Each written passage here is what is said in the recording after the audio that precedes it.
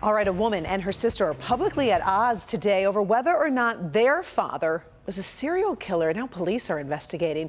Lucy Studey was cl has claimed for decades that her father Donald, who died back in 2013, killed between 50 and 70 people. She even says as a child she helped dispose of the bodies in a well on their property in Iowa. Now the claims were largely dismissed until days ago when cadaver dogs actually hit on suspected human remains near that well.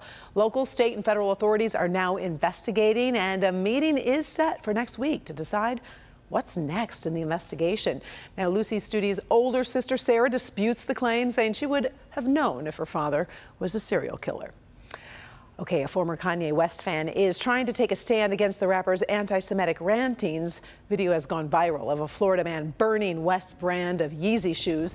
Danny Schiff says he collected 40 pairs over the years, valued at around $40,000. But he believes West's anti-Semitic ranting can, quote, lead to harm injury, even death. Now, the shoe burning has drawn some criticism from those who feel Schiff is just wasting money. So now he says instead of burning the remaining shoes, he's going to auction them off, donate the proceeds to a charity fighting racism and anti Semitism. Halloween candy, it's getting more expensive, isn't it? New report says prices are estimated to be 14% higher this year than last year. That's the largest increase on record. Hershey's says earlier this year it was planning to raise prices across the board, but shoppers aren't scared away.